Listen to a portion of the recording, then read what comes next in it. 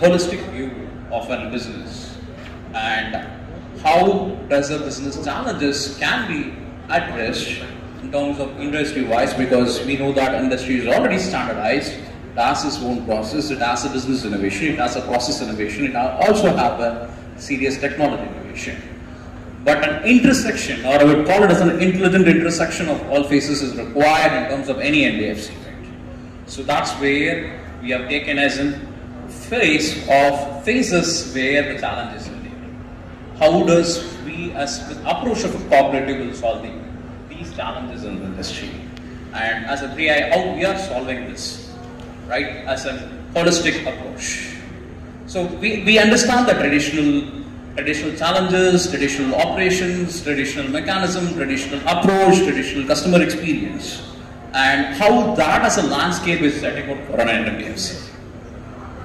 Here, we have channelized about the all forms of organization an NBFC. So we understand from the investment, microfinance, as well as infrastructure. So, as an organization, as a whole scale, we start from infra to a revenue-based partner for a transformation. We doesn't start there. Okay? Start from an infra how does a serious revenue to an infrastructure connection, how does the digital transformation goes towards it? What was the role of the cognitive as a 3 infra type? Is it same? Is it the same NBFC we start, I think that five years before? Is the same NBFC is now and is the same NBFC is going to be for next five years? How far we are adapting to the new transformation? Yes, we understand cognitive will play, AI will play, ML will play, but is it really making a sense out of your business? How far the entire value proposition of the business comes in as a cognitive, right? That's where we have diagnosed it the all formats, including uh, robotic process, automations, as well as API, blockchain, all formats. All formats in, in end to end of bringing up the whole stack of technology. Key the overall impactive that what a cognitive can do to an NBFC sector. Because being using the buzzword decades in industry, we have seen that an approach wherein okay we bring up a serious cognitive intent in terms of customer interaction. What is the key proposition numbers as a value you get it out of it? Very simple. Not only is a structured form, we get an we get a very clear insight from the overall as a better customer experience we understand, we infer, we transform, we apply, and finally we create a solid impact over the there. Yes. How do I address a customer? in terms of contextual experience, in terms of connecting the dots to the experience, I would say last month 15 my customer has reached out to me for a problem and I'm okay let's assume it is resolved. What is the chain of a connection, to the next interaction with the customer? What might be the right product to sell? What is the right pricing strategy for your customer? What bucket is going to like? That, does he likes what kind of a brand? How, how can I reach it to? Right? Entire strategies would be derived from the cognitive perspective. We don't leave it. We understand the customer in terms of security also because since we know your geo, we know your patterns of usage, we understand the entire interactions with the identity management, that is the key as a security part. We ensure that you are being there in terms of approaching the pure data. A transaction ability happens in four ways in terms of nature of a customer, right? What kind of a customer? Do I like an Apple series? Do I like an Nokia series? Or any format of a bucket you're trying to come and cognitive. Right? The more you know about your customer is going to be more easy to sell things. That's the bottom line. More you know about your customer, more easy to sell things, more how, how far I can go to my customer. Thus my customer is really able to engage and interact with any forms of an experience that as an organization, as an NBFC we are providing. Yes, finally, especially on the customer motivation, where that's where the cleanup of upsell, cross-sell, or diagonally connecting the customer for a different strategy.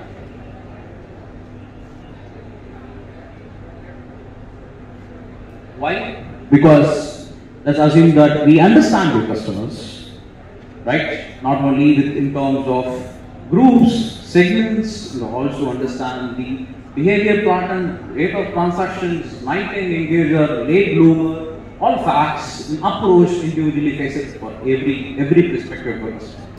Like one is, if I know my customer, I can re-strategize my entire product vision. Right? When I want to disrupt introducing the product, as an NBFC guy, if you think that, okay, is it going to fall under an existing product or an existing structure which is already standardized in use or a key business innovation bringing into the product, product by knowing your customer to an extreme, extreme way of sensing the customer, right? Last one is, how do I engage to a digitalization to a low cost? Because when I, whenever, most of the, you think that, okay, when I want to move for a digitalization uh, costing, okay, what kind of an investment? What is the value proposition as an NBFC I'm going to do? What is ROI that definitely is going to, that's what I say, as an organization, we are, or we are envisioning the way that as a revenue sharing model in terms of transition and make sure that this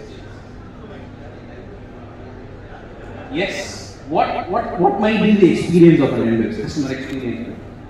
Very simple. Enhanced performance in terms of decision making. That's the key card because every time the decisions delayed on every moment when it comes to human being, it is delayed by 27%. That where the entire, entire, to be frank, an organization care I would change. Delayed decisions always equal to the decisions made in the wrong. So keenness, streaming decision making would be the key point. Second one is confidence because stakeholder confidence in terms of I know my customer, I know what is happening in my organization, I know what to sell, what not to sell specifically, and what is the right time to sell, and right option of sell, including the cost factor. Operational efficiency, because as an NBFC, we operate from different different areas. Uh, I say that thousand thousand points, thousand thousand action items, thousand of units and people all hubs are there. So operational efficiency is a key way where we have to look for an entire transformation. Last one is engagement experience. Uh, I see that people covering that everything in app, everything because uh, last last decade the entire mobile, I would say the industry transformation was towards mobile, right? Made everything available in app, but is it still engaging? Is it still engaging as, as an entertainment platform? Because a platform which is not engaging, which is not connecting to the customer, people will never spend their time. So more like more like any banking institution, engaging customers with the app is fine, but what is the right material to make it up? Because just because engaging doesn't mean that he's happy. Bringing back to the basics, where end of the day, the customer is key. We have to understand the heart of the customer. I would say, uh, bringing back my own notion uh, in Ecom, we call it as we ship products before even the products are purchased. How does it happen? Because we understand that this guy has a 99% probable or 90% probable to buy this product in the next six days. Right? More we are proactive in understanding the customer, more increase in revenue. Straightforward I think It's a simple science of understanding the customer in terms of the behavior, nature, expectation, evolve. And also keen on seamless personalized touch because most of the time help and the timely help in terms of understanding a customer is so 24 per 7 interaction that can be, if it is a cognitive driven, it will be more channelized, more interactive, more engaged end of the day, the customer attrition is cut off. Right? Because most of the time, the customer attrition will be the key challenge for any organization in terms of expansion of business. Yes, more we know, more attrition is less, we can make up a retention strategy better. If, if I understand my customer, if I am engaging my customer, right? The current, one of the surveys says 22% is the current recommendation that a customer recommends to the owner. Because most of the time, banking trust plays the card. My friend is using this bank. my relative is using this bank, my engagement is using, I would say my organization, my, my, my entire community is using the bank. That's where the approach should.